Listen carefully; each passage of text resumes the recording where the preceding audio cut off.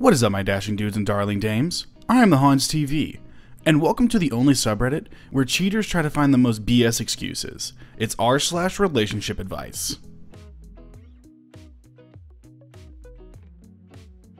Our first post for today comes from ThrowRA Trophy GF. I, 31 male, told my girlfriend, who's a 30 year old female, that she is not a trophy wife or status symbol, and that we are similar in attractiveness. She views it as me calling her old and ugly. A bit of background my girlfriend and I are 30 and 31 respectively. We've been dating for about a year. I work as a high level engineer at a good firm, and my girlfriend works a payroll specialist at a good firm too. I make significantly more than her, three times. Things were good in our relationship until I showed her my retirement slash savings. She now doesn't see the point of working and has started framing our relationship on that. She is the beautiful one, and that I am the nerdy engineer that was lucky to have her. Before, when we met, she was all about making it her own way, eventually starting her own company with her sister in sourcing and recruiting. But now, she jokes about driving a Range Rover and wearing Lululemon and going to yoga. We were having a discussion about this trophy wife stuff, and she brought up that I was nerdy back in the day while she was very popular. I told her that she is not a trophy wife, that yes, she is attractive, but it's not a huge difference between us. I told her had it been the case that I met her when she was 22 and I was in my current age, then sure. But she isn't 22 anymore. After I said that, she just started crying like crazy. She started saying that I think of her as ugly and used up that her best years are behind her. She just told me that if I'm not happy to be with her, why am I even here? To stop wasting her time. I tried to talk to her, but she was in no state for a conversation. I don't know what to say, guys. For me, I just wanted to say that I think we are of similar attractiveness. Like, I don't think anyone, when they see us, turns their head and is like, oh, is she with him because of the money? Or, dang, he is so lucky to be with her. I think it's mutual. She was the one that, if anything, went after my attractiveness first. What should I do? I like the fact that we both work, and I don't want to change that dynamic. And I don't want her to think, too, that she is above me, that I am so lucky to have her. I wanted to think of us as equals, and in my attempt to do that, I hurt her feelings. What's the next move? From what I can tell, she sees that you make quite a bit more money than her and thinks that you'll just financially support her and her not have to work. It may be an insecurity thing with her thinking that she's a trophy wife and that you saying she's not is an insecurity. But on the other hand, you both need to work. I mean, if you have a discussion and say, hey, I make enough money, you don't have to work, and she agrees with that, that's fine. But her saying she's just not going to work because she's now a trophy wife and joking about things like using your money to buy things for her, that's just not okay. Our next post comes from ThrowRA with a bunch of numbers. A little over a year ago, my wife threw a 7 pound salt rock lamp at my head. I am still in the relationship and struggling mentally. This wasn't the first time she had been violent, but by far the worst. We've been married for 5 years and together for 9. I'm 33 and she's 31.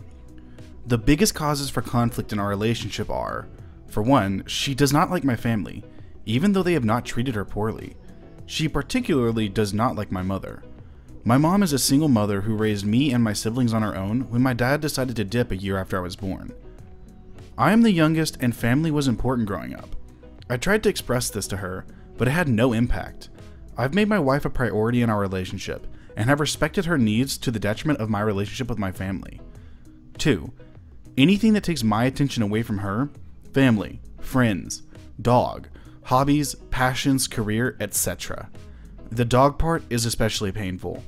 About four years ago, she more or less had me believing that giving my 9 year old dog up for adoption was the best thing to do, since I was working 12 hour days and wasn't around to give him much attention. When I did, it created conflict. She, on the other hand, wasn't working and just didn't like him. I wanted my dog to have a better life than I was providing, so I went along as she set up the adoption with a local shelter. I should have known better, and it still hurts to this day. Her words on the ride there and how she treated me after still do even more. In my state of grief, she mercilessly mocked me when I was upset, calling me a bad word, and said I should just get over it. Not even a month later, she was demanding a kitten.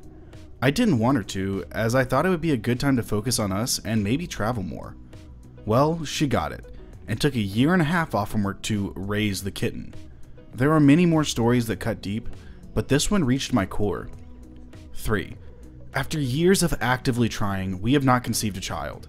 She has often expressed how much she wants a child, and it has led to much sorrow that she hasn't. I told her many times that I would get checked out to see if there was anything going on with me. I've read that many times it's on the man's side, and I wanted her slash us to have some sort of resolution. She felt it was unnecessary, maybe embarrassed, but just keep trying, so we carried on. However, in one particular argument, she said I was less of a man for not getting her pregnant. Well, that didn't sit well with me, so I decided to schedule a visit with the doctor, which leads us to the event in the headline of this post. The evening in question began a few days earlier when I got my wife on the wrong kind of flowers.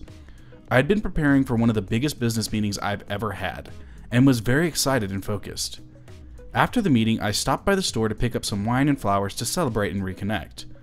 All the store had at the time were carnations. Eh, it'll do. It's the thought that counts, right? Wrong. Apparently, carnations were insulting to her. I was cheap and thoughtless. I ruined her night. Well, these feelings persisted for the next couple of days. After a couple of days, there was still tension in the air. I went to work, and while there, I got a voicemail from my mom saying she'll be in town for a business meeting the following week, and she wanted to get together. It had probably been at least six months since the last time we've seen each other. My wife took this particular day off from work, and when I got home, she hit me with the, We need to talk. Apparently, during her day, she happened to find the specimen collection container I had hidden until I can get to it. She was upset and told me not to do it. How could I do this without telling her? I tried to reassure her that it was okay, and it was time we get some answers rather than feeling the way we have been.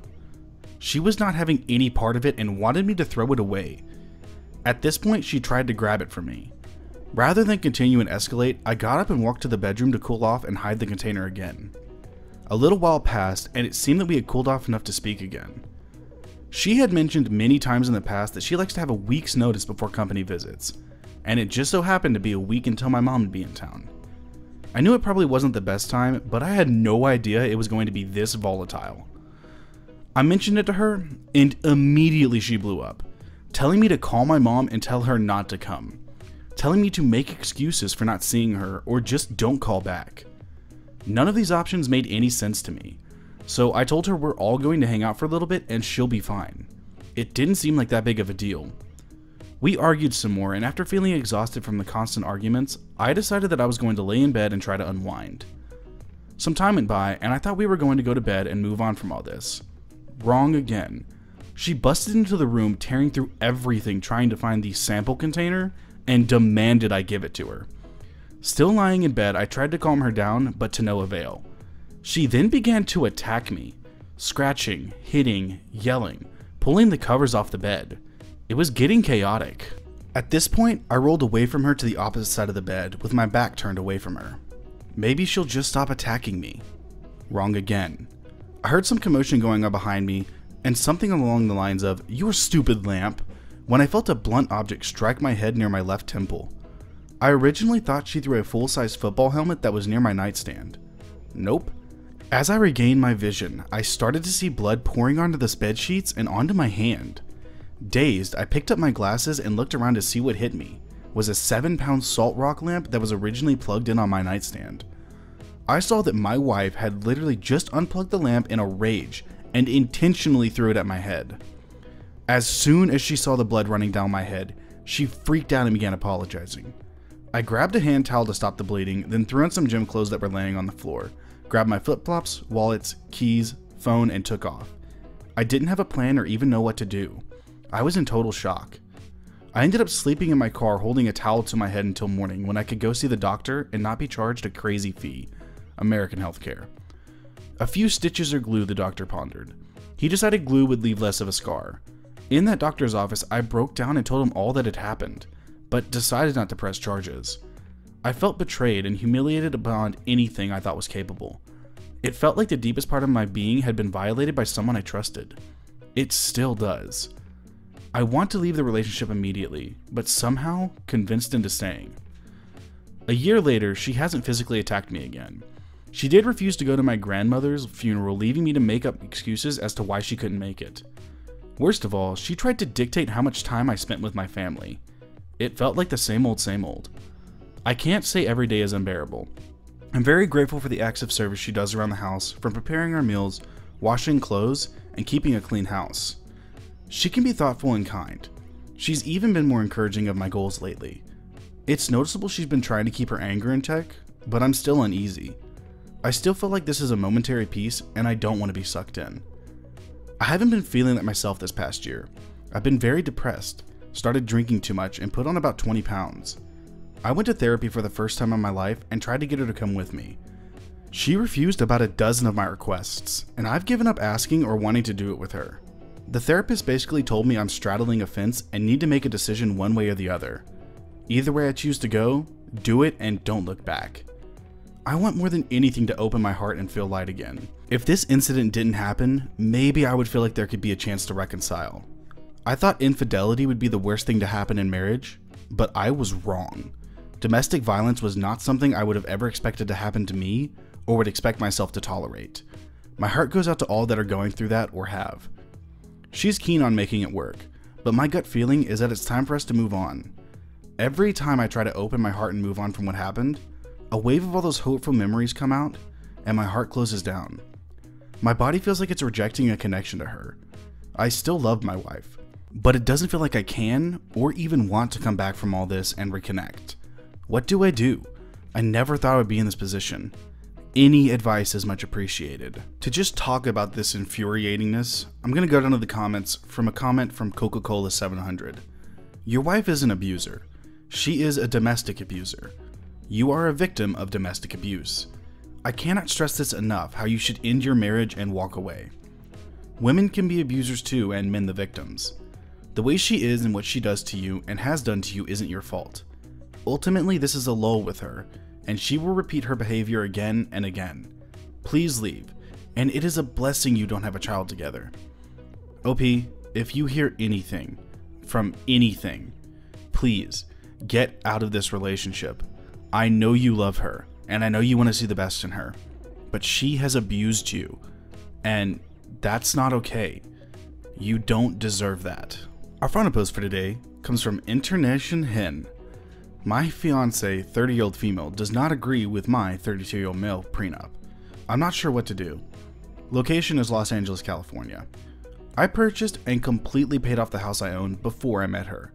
We've been together for six years. I've let her know from the start of the relationship that this was my house. She has lived with me in my home for the past three years. I do not charge her rent and never have. We split utilities, property tax, groceries, unexpected repairs, house renovations 50 50. I'm happy the way the house was when I bought it. All the renovations have been either her destroying something by accident or she really wants the renovation and I say okay, that's fine. We are getting married in November, and multiple times I have brought up a prenup for my house to mine, and for both our inheritance to stay separate. Everything we earn once married as a couple will be shared. Typical marriage rules besides the house and inheritance stuff. She has about a million or so in assets and inheritance that she will receive from her parents. I will receive about 500,000 from mine. She refuses this prenup. She wants to own a portion of my house, and I don't feel like she is entitled to it and I want to protect both myself and her in the future with this prenup. I love her to death, but I don't know what to do. Every time I talk to her about it, she just breaks down and cries and is inconsolable. Am I being unreasonable? So I'm torn on this one. Because as he says, he bought the house and paid off the house before they got married. So, in all legality, that is his property, and she has no claim to it. But on the other hand, if you're married, then it becomes y'all's property. So I don't know. Leave a comment down below what you think this is. Well, alright my dashing dudes and darling dames, that is going to do it for today's episode of r slash relationship advice. I hope you liked the stories, and if you did, I'm going to link them in the description as always. And if you liked the video, subscribe, share, drop a like, and a comment down below what you'd like to see me read next. A humongous thank you to everyone who is continuing to subscribe to my channel. I cannot thank you all enough for what y'all do for my community. But with that being said, I will see you in the next video.